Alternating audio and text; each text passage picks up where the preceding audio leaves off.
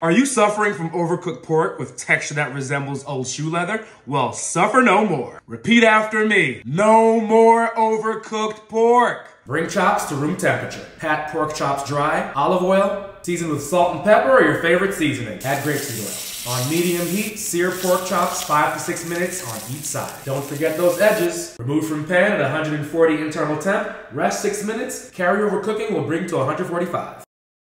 Mmm. Now that's pork perfection, or should I say, porkfection. Ha ha!